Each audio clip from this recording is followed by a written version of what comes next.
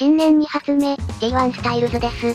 今回乗っていく戦車は、フランスのテアテンライトタンク、AMX30、105mm 砲です。そして今回の相方は、久しぶりの登場、Q ちゃんこと、バーベキューラッピーさんでございます。いや何かの間違いじゃないですか？今日のタイトル見たら、最愛なる推しと、遊ぶって書いてあったんですけど、いや間違ってないから、スタイル的推しは今も昔も、ナンバーワンは Q ちゃんだからね。マップは漁師の港、南スタート、初動はフラット、初期偵察してみましょうかね。いやいやスタイルさんの推しはどう見ても、私のことをプーさんって呼んでくるあの妹さんじゃないですか。キノコのことか。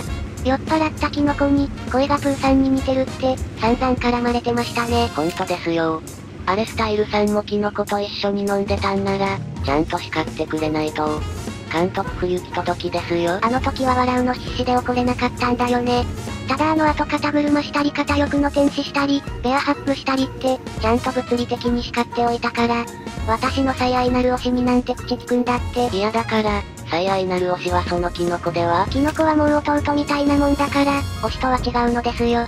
私がずっと推しているのはあなただけですよ、Q ちゃん。なんて物好きな人なんだ。いいものめっけたね。ドレスナイプだぜ。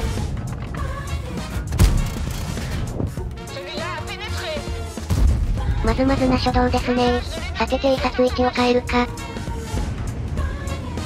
む、なんかもう入り込まれてるじゃんよ。西からの進軍に合わせた偵察の仕方にシフトしないとか、バレたからスポット切れるまで流しましてっと。でまあそうですよ。Q ちゃんはなんだかんだ動画では久しぶりだけど、会話自体は今でもしょっちゅうしててね。多分未だに、私のフレンド内では一番通話時間の長いフレンドじゃないかなって。確かにそうですね。お互い別々のゲームやってても、通話だけしてたりしますもんね。ここで起き偵察して様子見しましょっと。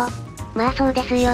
こういう動画を私が編集してる時に、Q ちゃんのゲーム配信をラジオ代わりにしながら、通話だけ繋げたりしますし、最近だと確かにキノコとの通話が主なんだけど、それでも Q ちゃんとは長年の付き合いなのもあって、フレンド内では一番の通話時間を誇ってると思うよ。大体は趣味の話とか、中身のない会話ですけど、Q ちゃんが私に知らない話を楽しそうに語ってくれるのが好きなんよね。ひどいと寝る時間忘れて喋ってますもんね。会話途切れずに延々と話してられる人って、私の中では Q ちゃんと、キノコくらいですかね。それは光栄ですね。Q ちゃんとの出会いって、まだ Q ちゃんが学生の頃ですよ。あの頃自分は若かったさ。学生の頃に将来の夢語ってた Q ちゃんから、いろいろ話聞いてきて、それで夢を叶えて、今では仕事の愚痴を言うおっさんになってきてる。押せますよね最後の一言が余計な気が。まあそれだけね、可愛いと思ってるってことよ。それこそ、キノコの夢もスタイルさんは応援してるんじゃないですか？ものすごくね。でもキノコほどまでの仲になると、もうそれは推しではなくて、兄と弟であって、推したいっていうよりも、もう夢に関わってきてるわけよ。でも Q ちゃんへのそれはアイドルを推してるのと同じ感覚で、可愛いから一方的に推せるって感じなんだよね。弟って感覚より、アイドルって感覚なのかもね。ステージ2が出てくるかな？君は危険だから通しませんよっと。そういうことですか。それはありがたく思っておきましょう。よし、バレてないな。もうちょいチャンス待ちをしてみましょうか。まあそんな推しの Q ちゃんも、今日まで全然ゴッとやってくれなかったけど、さあ戦したって感じでね、私のフレンドはみんな別ゲームに浮気していっちゃうからねクリオスさんもですっけ？彼は半引退状態ですからね。みたいですね。そうなるとやはり妹さんしか。私と遊んでくれる気がない Q ちゃん、だがそこが可愛い。まあいいですよ、私の相棒は現状キノコってことで、世代は交代していくものなので、たまに遊んでくれればそれでいいさ。話が長くなりましたが、南西側に随分敵戦車が溜まってしまいましたね。ただあれらは進行してくれば私の偵察で見つけられるはずなので、しばらく泳がせておきましょう。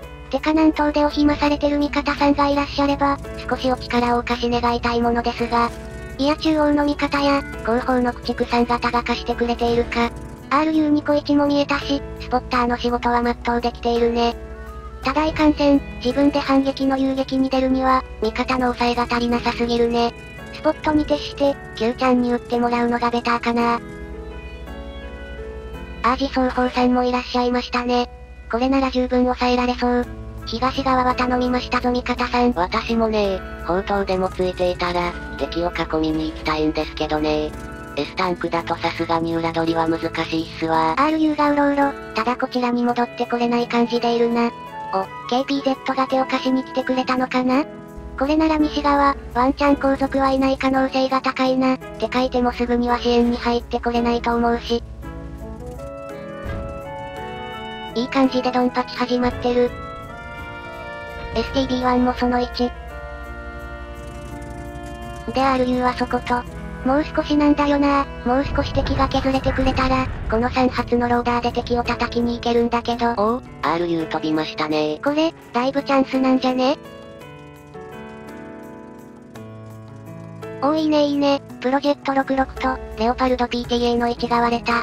これはさっさと駆逐戦車を駆逐してくるしかないな。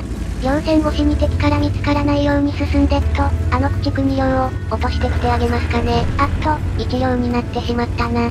まあいい、あの1両をいただきましょうか。STB1 の足止めをなしゃーす。ハロー知らない駆逐戦車、これもらっておいてねいつか限定販売されてた車両だったっけか。こういう期間限定車両には疎い私ですが、まあ裏取りする上でスペックの把握はそれほど重要ではないのだよ。まったねー、再装填したらまた遊びに来まーす。手割と再装填、早めなんだけどね。105ミリ砲、単発390ダメージが平均の、3発ローダーで25秒ほどの装填。ちょっかい出して雲がくれ、それを繰り返すにはちょうどいい装填時間ですかね。もっかいちょっかい出しに行きますそれなら私も援護できますさそれならば援護していただきましょうかね。ただ少々、敵の S タンク、及び T100LT の所在が気になるところなんですよね。多分そこの茂みにいると思うんだよな。スポット引っかからないかな。そこにいられて私の裏取りのタイミングで背面来られると、私が楽に挟まれる形になるからね。そこは警戒。まあ何かあれば Q ちゃんが手出せる位置だし、先にそこの茂みから洗うか。目の前の定番の茂みですよね。了解です。多分このラインじゃないかな。あほらいた。こいつだけなら、両線越しに打ち合って、ワンチャン Q ちゃんに打ってもらうか。これは打ち切るより再装填だな。タイミングずらしておこう。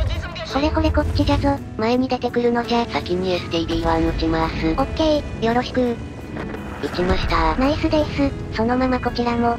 これ出てこいじゃ。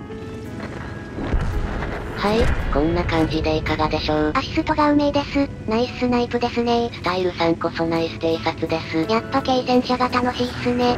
そしてこの間にさっき入れ直した弾が再装填されましたな。プロジェクトの裏取りしてきましょ。はいこんにちは。あれまりたいか。よし。はう、スタントは効いてない。さあせん、また来まーす。まあこれはなんとか味方がしてくれるでしょうってことで。こいつは捨ておいて、さて後方から自走砲が飛んできてましたね。そっちを先に暴いてやりますか。このプロジェクトの始末は私にお任せあれ。言わずもがなだな、お任せいたしますわ。く、またつまらぬものを売ってしまった。さすがっすね。ってことで私は自走砲さーんにこんにちはよっこらセット。先ほどはどうもおっす。もう一発どうぞ。あらそちらにもいらして。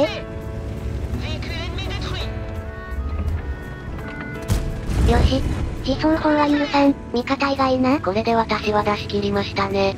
あとはお若いもんたちで。いやいやいやいや、Q ちゃんはまだ若いでしょうよ。いえ今しがた、あなたにおっさんと言われましたゆえ。何を言いますか私よりも若いではありませぬか。つまりスタイルさんもおっさんということですね。ぐぬ。訂正だ。仕事の愚痴を言う人がおっさんだ。年齢は関係ない。ああ確かに、スタイルさんから仕事の愚痴って聞きませんね。言わない言わない。そういう愚痴は人に言わないようにしてるから。キノコにだけは言ってるけど。ああでは妹からはおっさんと言われても仕方ないと。ぐ、いやキノコからもたくさん話を聞いてるけどな。ではキノコもおっさんですね。おばさんよりはおっさんかもな。いやいやいやいや、妹がおっさんだったら兄もおっさんやないか。なんてこと言うねん自分。先に言い出したの、あなたですよ。戦闘結果です。2バッチ、戦友、パスクッチ勲章をゲット。戦友、久しぶりに撮りましたね。いやそもそも、Q ちゃんとボットやるのが久しぶりなんですって。ボットやること自体が久しぶりですもん。いやもうどこから突っ込んだらいいか。今回は偵察の判断がうまくいったのと、Q ちゃんの狙撃位置の切り替えのタイミングが良かった試合でしたね。短い試合時間の中に、我々二人のいいポジションの選定が光っていた試合だったかなと思いますね。まだ衰えてなくてよかったぜ。以上、今回はここまでになります。最後までのご視聴、ありがとう。プーさんプーさんプーさん。蜂蜜ちょうだいって言ってくださいプーさん。あ、面倒なこったんで帰りますねあとはお兄さん、監督頼みました。プーさん、蜂蜜、蜂蜜はおいバカシスター。おめえまた酒飲んできたんか？うへえ、年始だからはしゃいで飲みすぎやした。頭痛えっす。おめえいつまでも学生のノリはやめとけ。身を滅ぼすぞ。気ぃつけやす。てか何しに来たんだよ。もう閉めようって思ってたのに。面白い横転をしちまったんで、また見てもらおうかと。いやそれ前回見たやないの。いやね。2位に前回見せた横転とどっち見せっか、悩んだんですよ。まったくもう。わかったわかった。それ見てエンディングにしてやるよ。次回はないぞ。あざーす。マーレーンにもよって、ハルさんと兄とプレイしてた試合なんですよ。ああこれ、お前が一人で大笑いしてた試合か。うちら二人からは見えてない場面だったんだよな。